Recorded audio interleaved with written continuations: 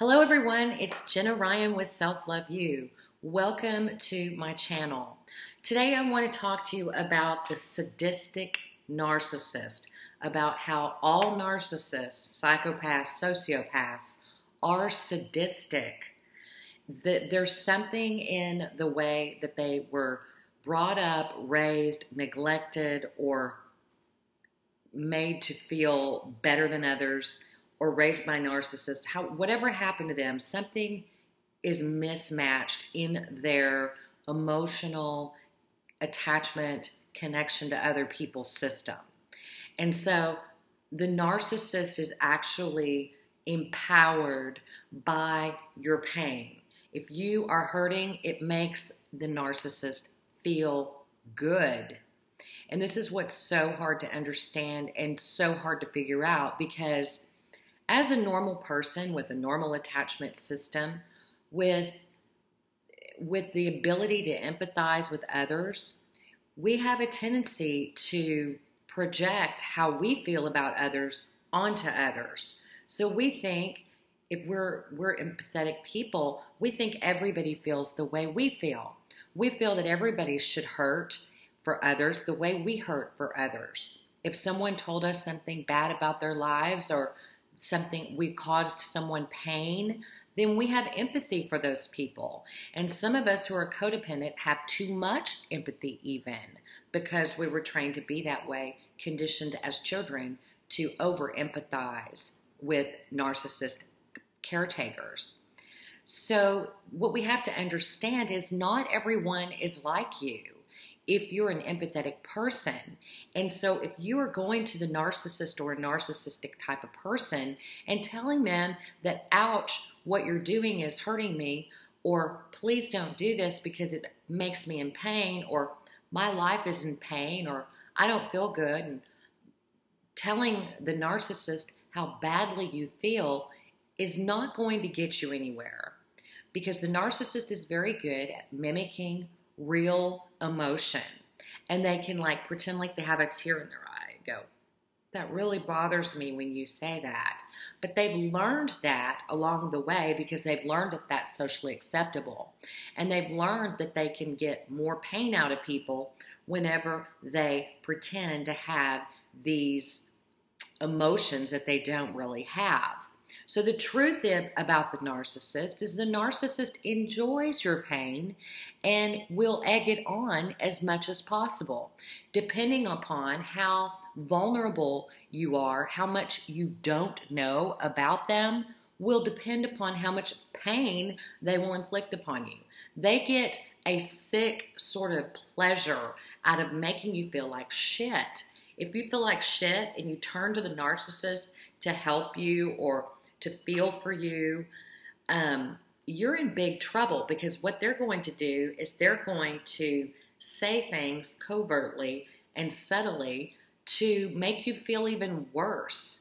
And then as you're sharing your negative feelings, your negative emotions with the narcissist, thinking that they're like you and that they actually care, and believing their false displays of emotion for you and empathy that they don't even have, if you sit there and, and, and do this, then they are going to use that information of the pain that you've shared with them. They're going to use it later and poke you with it and stab you with it. They're going to stab you with the very things that you share about yourself that hurt the worst. And they'll continue to do it for years and years and years until you wake up and realize what is going on. Narcissists are sadistic. That is why you really can't have boundaries with a narcissist. They're going to find a way to bust your boundaries to get around your boundaries because they see you, the victim or the target, as narcissistic supply. They want to feed off of your pain. They want to feed off of your energy. They don't care if you, they just want your pain. Your pain is their gain. So they like to do things like ostracize you. They like to rub things in your face. They like to make you feel envious. They like to do whatever they can to make you feel less than so that they can feel better than. They will tell lies in order to hurt you. They will bring up things that someone else said about you that was negative and bring it up and act like they're just helping you out by sharing the information with you. The narcissist is so sadistic. The narcissist loves your pain. The narcissist feeds on your pain, and you need to know this. You need to know this in order to protect yourself. You do not share with everyone how you're truly feeling. You need to be careful and protect yourself and not share information about how you feel with people until you have given them time to unfold and make sure that they're not a narcissist. A narcissist will punch you right in your weakest spot at your weakest moment whenever you need love the most. And this is most sad for children because a child with a narcissist for a parent who is hurting at their worst moment, the parent at that moment gets a sadistic joy, a thrill out of hurting that child even more. So, and then the sadistic narcissist parent does the sweet mean cycle and turns nice. So the child is just like completely clueless as to what's going on. That's the saddest thing is for a child to have to grow up with a uh, sadistic parent that when, it, when the child is crying and in need, the parent actually gets pleasure out of the tears of the child instead of feeling for the child and wanting to stop the child's pain. The parent the parent actually exit on or the family system exit on. And so I have a friend who recently got involved with a bunch of narcissists. It, it's it's very easy to happen. Where one is, you're going to find a whole mess of them because narcissists like to feed off of each other's pain and ignorance, the ignorance of people that have empathy, because those are the people that they can suck the blood out of.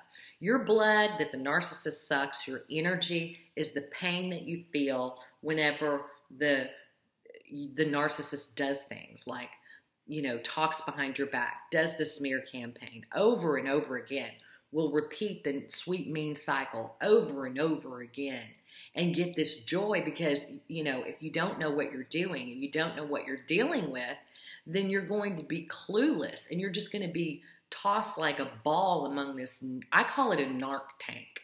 It's like a narc tank. It's like a, a snake pit of people who are getting pleasure out of making you feel less than. But the less than feeling and what they're trying to make you feel is all an illusion. It's not even real. And if you grow up in that sort of system, you think that there's this ranking system and that you're less than everybody because that's what the narc tank has taught you. That's what the narcissistic illusion has taught you. And so you're just you're you're being you, they're making you and I say making you because you don't have any will of your own if you're raised in this sort of system. You're never taught that you have a will. You're never taught that you have freedom. You're taught that these people are better than you and you suck. And they literally, they just get a thrill. They'll smile. There's a smile, even though they're like, I'm so sorry you're going through that. But inside, they're so happy you're going through that. They can't wait because the reason that they're so sadistic is that they're pathologically envious of everybody. They're envious. They're, they're envious of other relationships. They're envious of people that have feelings. They're, I mean, they get crazy envious over the silliest things. And once you come out of the narcissist illusion and you begin to break free and realize what life is truly all about, and it's really not about getting to the top of this narcissist lie, once you realize that there's nothing at the top once you get there, you begin to see really what's going on, and you can actually, it's really easy to play with the narcissist head because they have no clue. And what they want to do is they want to put you in pain. They want to build you up and, and they'll, they'll come in with love bombing and making you feel good because what they want to do is pull you down. So you want to be very careful in if you're the type of person that needs external validation, which is a codependent person. If you need external validation, if you're not validating yourself from within, if you don't know how great you are, if you don't know the value of who you are, and you can't provide for your own self the validation that you need, then you're going to turn externally to these narcs. And what they're going to do is they're going to love bomb you and tell you what you need to hear, what you weren't told when you were little, and do things for you. And they'll do it just long enough to get their hooks in you. And once they get their hooks in you, then they're going to start pulling, reeling you in and causing you pain. It reminds me, my nephew was talking about fishing, and they put the minnow on the hook. That's the bait, and then it swims around because it's got that hook in its back. So the bait swims around, and then a fish comes along and eats that fish with the hook inside. And once the hook is inside, you just reel that fish in.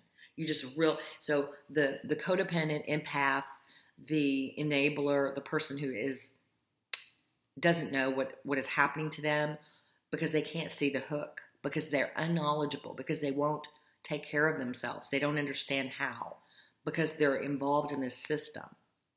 And so that they're just hooked into the system. And then they're able to be controlled by the narcissist who is lying and they are controlled by this stupid illusion and this can really mess with your mind. It can mess with your head. You can begin to feel like you are incapable when you're really a very capable person. You can feel like you're unworthy when you're really mm, completely worthy. You can feel like you can't do anything when really you can do everything.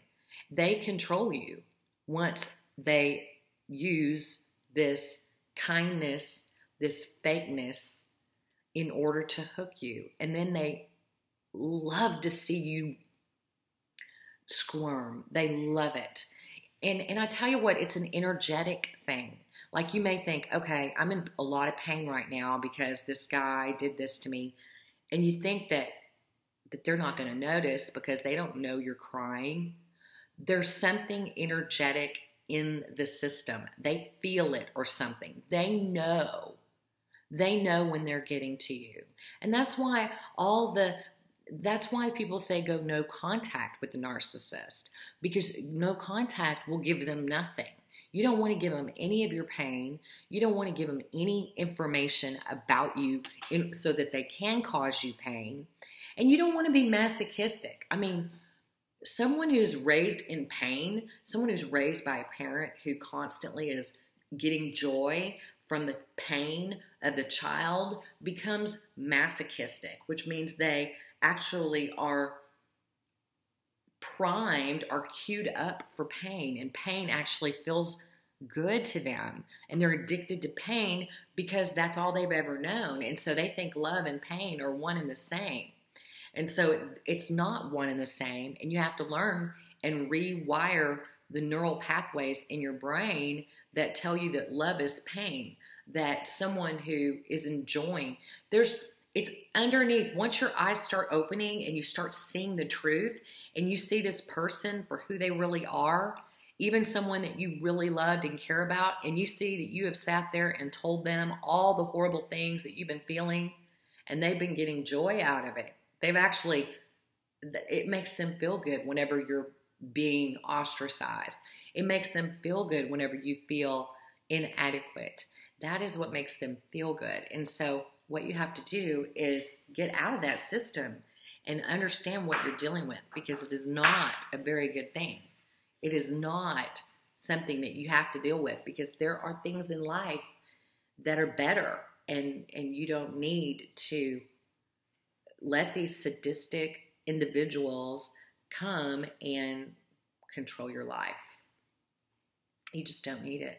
You don't need it. You need to let them go and find people that aren't sadistic and quit telling narcissists about your pain because they actually enjoy it. Okay, that's all for today. Thank you for subscribing. Thank you for listening. Thank you for your comments. Thank you for liking this video. I'm Jenna Ryan. Until next time, I will talk to you soon.